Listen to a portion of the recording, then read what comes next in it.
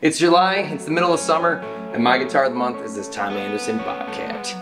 I really like the single cuts from Tom Anderson. This one in particular uh, is just a great uh, gigging guitar or even a session player's kind of dream. You got a chambered body, so super lightweight and adds a ton of resonance. Beautiful flame maple top on it with a burnished orange finish. Uh, really highlights the grain and just gives it that classic look. Simple setup, just volume and tone controls for each pickup which are noiseless and they sound incredible. This is the PQ3, which gives you uh, a little bit more oomph than like a typical kind of P90 type pickup. And then in the neck position, it's the PQ1, which has all the clarity and warmth of a, of a neck position P90 that you could ever want. Going up from there, it's a beautiful piece of ziricote or ziricote uh, for the fingerboard, which just adds a nice, nice bit of brightness to the sound, and it just looks incredible. There's some really nice grain to it. Mahogany neck, mahogany body, pretty typical on a single cut.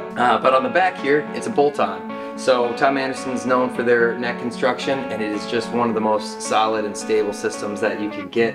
This is going to be the type of guitar that you can play at any gig and you're not going to have any issues with tuning and you're going to get tons of great tones. Get it now. It's available on our website.